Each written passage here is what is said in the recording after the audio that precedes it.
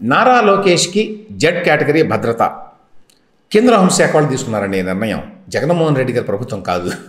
జగన్మోహన్ రెడ్డి గారి ప్రభుత్వం ఎట్టి పరిస్థితుల్లో అటువంటి నిర్ణయం తీసుకోదు. ఇన్ఫ్యాక్ట్ గతంలో చాలాసార్లు నారా లోకేష్ కూడా చాలా సమస్యలు ఉన్నాయి. ఆయన తండ్రి ముఖ్యమంత్రిగా ఉండటం వల్ల కారణం. ఆ తర్వాత ఆయన రాజకీయాల్లోకి వచ్చిన తర్వాత కూడా కొంత ప్రమాదం ఉంది ఆయన భద్రతకి అని చెప్పి చాలాసార్లు వాళ్ళు రాష్ట్ర ప్రభుత్వానికి కేంద్రానికి కూడా రిప్రజెంటేషన్ ఇచ్చారు.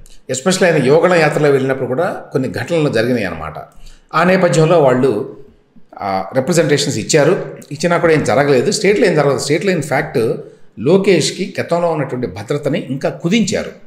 ఆ నేపథ్యంలో హోంశాఖకి వీళ్ళు రిప్రజెంటేషన్ ఇచ్చారు గతంలో. హోంశాఖ వాళ్ళు సెక్యూరిటీ రివ్యూ చేస్తారండి.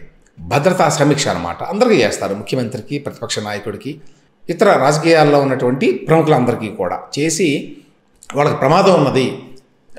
ఎస్పెషల్లీ మావోయిస్టుల నుంచి ప్రమాదం ఉన్నది ఉగ్రవాదుల నుంచి ప్రమాదం ఉన్నది ఇతరత్ర ప్రమాదం ఉన్నది అని ఒక అంచనాకు వస్తారు. అంచనాకు వచ్చిన తర్వాత కేంద్ర హోంశాఖ ఒక నిర్ణయం తీసుకుంటుంది. వాళ్ళకి ఫలానా కేటగిరీ భద్రత కల్పించాలి అని. జెడ్ కేటగిరీ అనేది టాప్ లెవెల్ అండి. మన చంద్రబాబు నాయుడు గారికి జెడ్ ప్లస్ ఉన్నది. జగన్మోహన్ రెడ్డి గారికి కూడా జెడ్ కేటగిరీ ఉన్నది. ముఖ్యమంత్రిగా ఉన్నాడు కాబట్టి కొంత ఉంటుంది అది సో ఈయనకి ఇప్పుడు ఇరవై రెండు మంది సిబ్బంది పనిచేస్తారు మూడు షిఫ్టుల్లో లోకేష్ కూడా. వీళ్ళల్లో మళ్ళీ నలుగురు ఐదుగురు ఎన్ఎస్జి కమాండోలు ఉంటారు. నేషనల్ సెక్యూరిటీ గ్రూప్ అన్నమాట.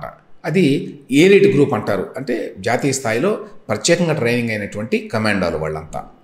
సో వైకాపా ప్రభుత్వం అధికారంలోకి వచ్చిన తర్వాత లోకేష్ భద్రతని తగ్గించింది. అయితే తగ్గించి వాళ్ళు అంతకుముందు సెక్యూరిటీ రివ్యూ కమిటీ వాళ్ళు స్టేట్లో కూడా ఉంటారండి. స్టేట్లో కూడా హోమ్ డిపార్ట్మెంట్లో సెక్యూరిటీ రివ్యూ కమిటీ ఉంటుంది. ఆ కమిటీ వాళ్ళు ఎప్పటికప్పుడు చేస్తారు. వాళ్ళు జెడ్ కేటగిరీ కల్పించాలి లోకేష్కి అని చెప్పారు గతంలో. చెప్పినా కూడా జగన్మోహన్ రెడ్డి గారి ప్రభుత్వం వై కేటగిరీ ఇచ్చింది ఆయనకి. సో దాని మీద లోకేష్ వాళ్ళు వాళ్ళ బృందం కంప్లైంట్ చేశారు సెంట్రల్ గవర్నమెంట్కి. ఈ విధంగా ప్రమాదం ఉన్నది భద్రతకు సంబంధించి కొన్ని ఇబ్బందులు ఉన్నాయని. ఇప్పుడు కేంద్ర హోంశాఖ నారా లోకేష్కి సి సిఆర్పిఎఫ్ విఐపి వింగ్ అని ఒక వింగ్ ఉంటుంది సిఆర్పిఎఫ్లో central reserve police force CRPF అంటే వాళ్ళ బలగాలతోటి జెడ్ కేటగిరీ భద్రతని ఇప్పుడు కేంద్ర హోంశాఖ కల్పించింది. కాబట్టి ఆయన ఇంకా ఇంకొంచెం ఆయన తిరగడానికి అవకాశం ఎక్కువ ఉంటుందన్నమాట భయం లేకుండా. ఇక నెక్స్ట్ వార్త ఎట్టకేలకి కడప బరిలో షర్మిల అనేది దాదాపుగా ఖాయమైందండి. అధికారికంగా ఇంకా ప్రకటన రాలేదు. ఎందుకంటే ఈ మేరకి ఎంపీ కడప ఎంపీ స్థానానికి. అంటే అవినాష్ రెడ్డి మీద పోటీకి షర్మిల గారు దిగబోతున్నారు. కేంద్ర కాంగ్రెస్ పార్టీ వారికి ఈ మేరకు ప్రతిపాదనలు వెళ్ళినాయి స్టేట్ నుంచి. ఏ ఏపీసీసీ వాళ్ళు అధిష్టానానికి పంపించారు. ఎంపీ స్థానానికి పోటీ చేయాలని చెప్పి దాంతోపాటుగా అసెంబ్లీ పార్లమెంట్ అభ్యర్థుల లిస్టు కూడా వాళ్ళు తయారు చేసుకుని వాళ్ళు పంపించారు. అందులో షర్మిల గారు కడప లోక్సభ స్థానానికి పోటీ చేస్తారని చెప్పి వాళ్ళు ఇచ్చారు. మోస్ట్ ప్రాబ్లీ ఆ సీటు ఖరారవుతుందండి. సో ఇది చాలా ఇంట్రెస్టింగ్ పోటీ ఉంటుంది కడపలో ఈసారి.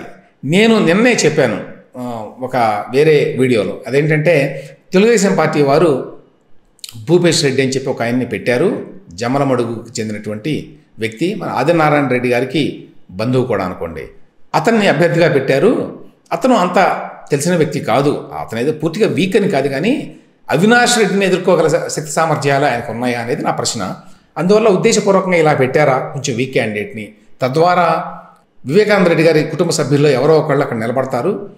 వాళ్ళు గెలవడానికి ఒక అవకాశాన్ని కల్పించాలి అనే ఉద్దేశంతో తెలుగుదేశం పార్టీ ఇట్లా చేసిందా అనేటువంటి ఒక ప్రశ్నని లేవనెత్తాను నేను. మొన్న చేసినటువంటి వీడియోలో. సో ఇప్పుడు అది కరెక్ట్ అని తేలింది. ఎందుకంటే వైఎస్ షర్మిల నిలబడితే అప్పుడు అవినాష్ రెడ్డి వర్సెస్ వైఎస్ షర్మిల అవుతుంది. తెలుగుదేశం అభ్యర్థి రంగంలో ఉంటాడు కానీ నామినల్గా మాత్రమే ఉంటాడు. షర్మిల అయితే మాత్రం ఖచ్చితంగా గట్టి పోటీని ఇవ్వగలదండి అవినాష్ రెడ్డికి. ఈ వేరే ఎవ్వరు ఇవ్వలేరు.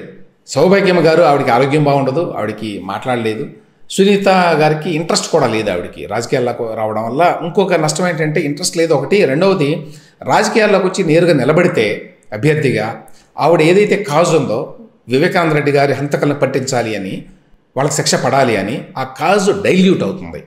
కొంచెం పలస పలసపడుతుంది అన్నమాట ఎందుకంటే రాజకీయాలు అంటుకుంటాయి దానికి మళ్ళీ. అది కూడా ఇష్టం లేదు సునీతారెడ్డి గారికి. అందువల్ల ఆవిడ దూరంగా ఉంది. సో ఆ నేపథ్యంలో మోస్ట్ ప్రాబబ్లీ షర్మిల నిలబడుతుందని చెప్పి అందరూ అనుకున్నారు. ఆ ప్రకారం షర్మిల ఇప్పుడు అవినాష్ రెడ్డి మీద కడప బరిలో ఎంపీగా పోటీ చేయబోతోంది కాంగ్రెస్ పార్టీ తరఫున. ఇది రసవత్తరంగా ఉంటుంది ఈ పోటీ. అందులో సందేహం లేదు.